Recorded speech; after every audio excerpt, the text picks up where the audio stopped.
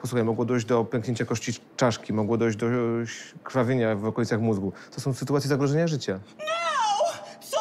Nie chcę umierać! Ja nie chcę umierać, proszę pana! Ja mam jeszcze tyle imprezek do wskoczenia, tyle lasek do wyrwania. Dobra, dobra, dobra, dobra. Już, już, już. Tak, tak, tak, tak, tak, dobrze, uspokój się, uspokój się.